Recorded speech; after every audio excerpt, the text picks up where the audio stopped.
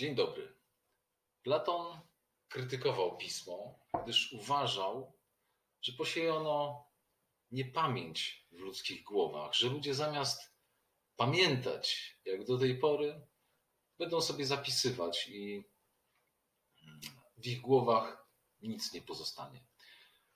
Platon, wybitny grecki filozof żyjący, żyjący w czasach antycznych, przewidział formę, w jakiej krytykowane będą kolejne nowe innowacje w dziedzinie ludzkiej komunikacji, takie jak druk, telegraf, stalówka chociażby, radio, telewizja, komputery osobiste. Wszystko to spotykało się z niezrozumieniem i lękiem. Nazywam się Krzysztof Gajewski. Chciałbym zaprosić Państwa do lektury mojej książki Triumf Amatora.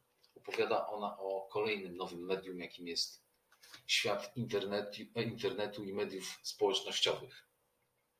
Jej tematem jest tekst społecznościowy.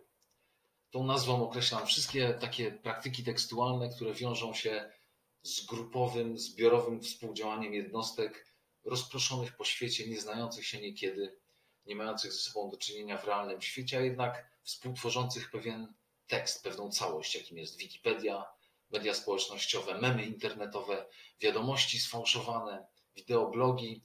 To wszystko są owoce pracy jakiejś społeczności amatorów. Tym zajmuję się w niniejszej książce. Badam właściwości tego rodzaju form tekstualnych, e, ich sposób, w jaki wpływają one na e, nasze postrzeganie świata, e, ich zalety, to co nam dają, ale również niebezpieczeństwa, z jakimi się wiążą, wiąże ich używanie. Niebezpieczeństwa, do jakich prowadzi korzystanie z Wikipedii, YouTube'a czy memów internetowych jako źródła wiedzy czy informacji. Zapraszam Państwa do lektury i do dyskusji. Dziękuję.